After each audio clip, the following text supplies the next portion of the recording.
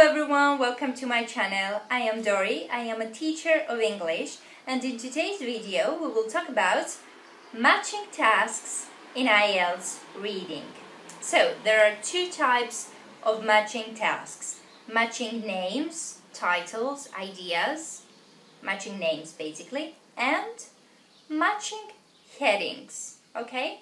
So let's uh, begin with the first one, matching names task. In this task, you're going to get a number of statements and you have to match these statements with the number of options that you're going to get in a box. These options are uh, basically names or titles or ideas expressed in the text.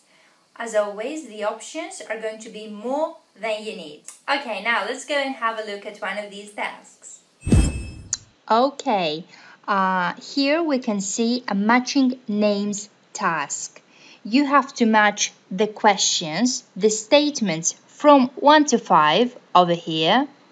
These are the statements 1 to 5 with the ideas or names in the box from A to G. Okay, you can see that over here. These are the names or ideas in the box. So the statements are going to be paraphrased, these statements over here. So try to locate their meanings in the text and not the exact same words. Another thing you can do that will help is to scan where exactly in the text each name or idea over here um, from A to G appears and read this information carefully and then decide which of the statements match this information in the text. Okay, now uh, about matching headings. Some of you have already told me that you tend to make more mistakes in this kind of task, matching headings.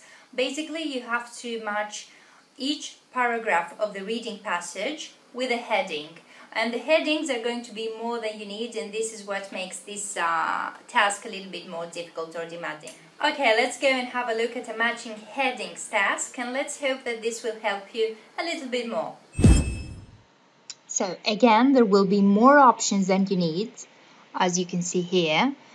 And this is what makes this task pretty difficult. So the options are going to be similar in meanings, uh, so you have to be able to recognize the heading that best represents the overall content of each paragraph, the gist of each paragraph as a whole, and not just one sentence or two in it.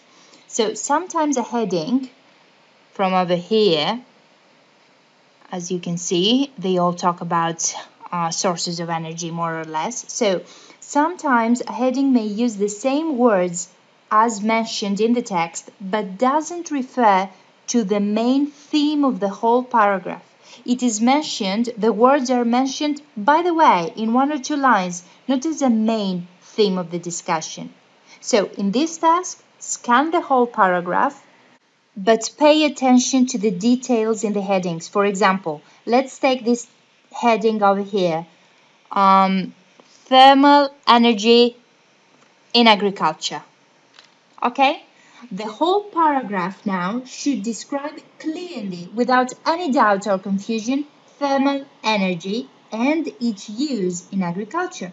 If the paragraph mentions briefly agriculture, for example, uh, then this might not be the correct heading. So always, always, always pay attention to the main discussion of the paragraph, the main theme of the paragraph. Don't let the usage of same words both in the text and in the headings confuse you. Don't let that confuse you. Always concentrate on what the paragraph as a whole is about. Okay, so ask me your questions here in the comment section or in Facebook, Twitter and Google+. Pass. I have added all links down below in the description box. Thank you very much for watching. Good luck with your exam.